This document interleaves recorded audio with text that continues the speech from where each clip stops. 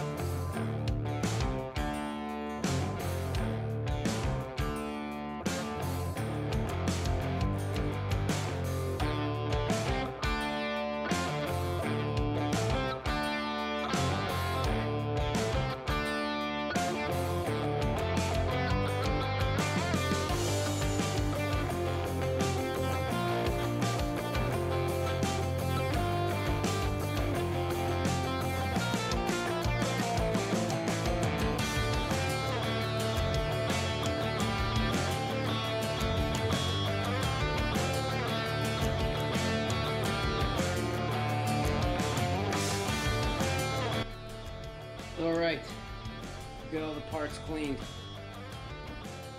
Brought them outside, you know, give them a little spray with the uh, dust can just to get most of it off. I ran some of these under the sink just to wash them off real good. And I use microfiber rags because the dust just clings and sticks to these, so look at the table. This thing was pretty gross inside.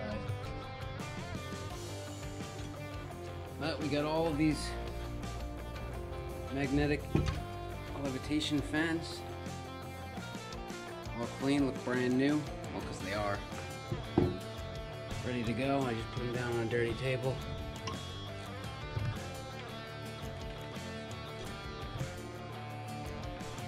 So we're gonna put the PC case back up on the table after I flip the cloth over. And uh, we'll start putting some parts back in there.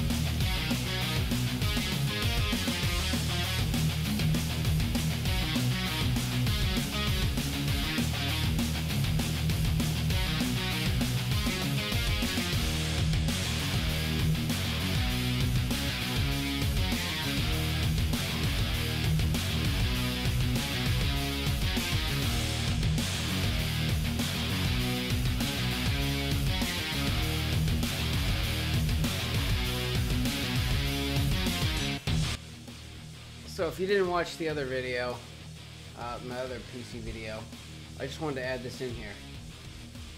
Uh, originally, I put in a PC power and cooling, I think it is.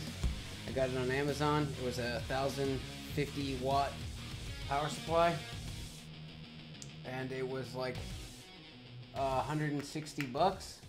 Sorry, my keyboard's dying. Speaking of PC problems. Yeah, it was about 160 bucks. And I looked at those EVGA 1000 watt power supplies and they were like 370 bucks after tax. You know, I already spent a ton of money, so it was like, oh. You know what? I'll go with the uh, PC power supply. And that was a mistake. I had the whole computer put together, everything zip tied, all the wires nice. And I had to rip it all apart. So, don't cheap out on your power supply. Let's get on with it. The PCs are done. I never want to do that again. That was like a a good week. A good solid week. But here's uh I already showed you guys this one, but this one uh this is the OG Beast. And uh I really just wanted to test it out. So I've been messing with it. And I think I figured out where the problem was. This thing is not as bad as I thought. So I think it had something to do with the V-Sync on these monitors. Because originally I had that monitor on the left, which is the same one as the one on the right. They're just two different sizes. And whenever I had this this computer hooked up to it, it would refresh the screen all the time. And it was annoying. Never did it when I was playing a game. And never did it whenever I was like really doing something that was hard on the computer. But if I was just like on the internet, watching YouTube, did it all the time and it drove me nuts. But since I've hooked it up to the TV, I've been using this and I have not had a single screen refresh. So that might have been, it might have been the monitor, not the computer. Or maybe it was some software, I don't know. But it seems to be working fine. I was playing some uh, Doom. I hooked up the VR, was playing VR the other day. Boxing punching some dude in the face. So I still will sell this one because I really could use the money, but if anyone wants it, thousand bucks, best offer. I will sell it, but you know, anything less than a thousand, I'm probably just gonna keep it. And here's the main event. Beast 3.0.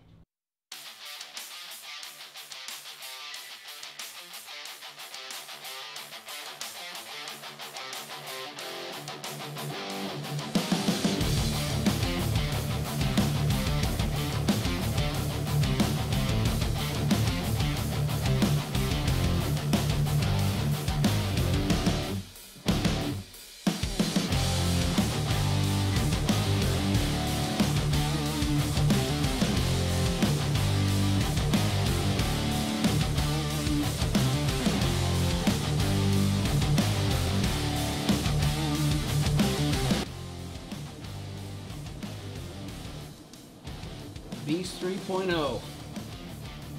An 8 terabyte monster.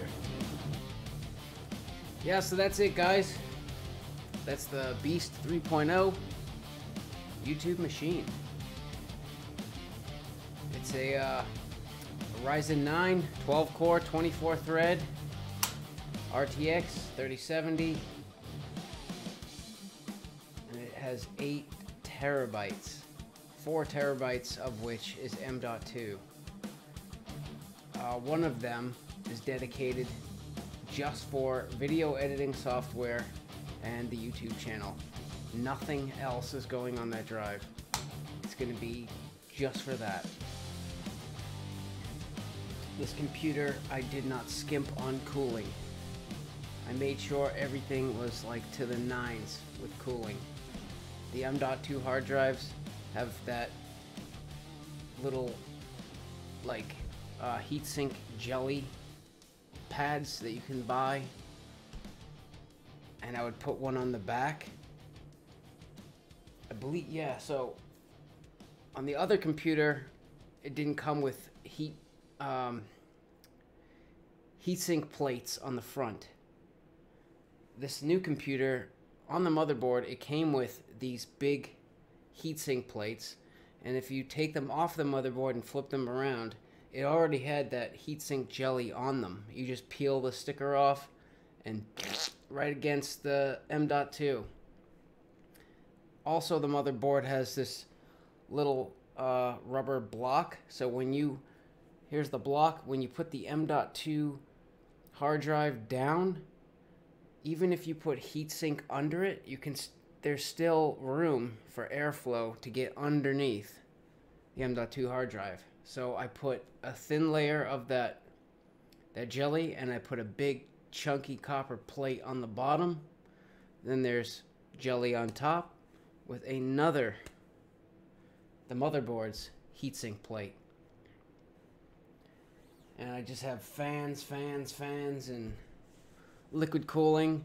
And this one's actually the Corsair. I had I bought that big, you know, Corsair controller that's like 50 bucks, and you plug all the fans and everything into it, one box, instead of having like two or three of those little Corsair control boxes. Everything went into one it all runs off the same software. Now I noticed with this computer, when I start taxing it, the fans kick on and they start revving up. The old computer didn't do that. And uh, I think that was part of the problem. And maybe it was just the way I had it set up, the way I had it wired, or the software. I don't know. I am no PC expert by any means. This computer took me uh, all week. And then the software took me probably two nights after work. Maybe a little longer.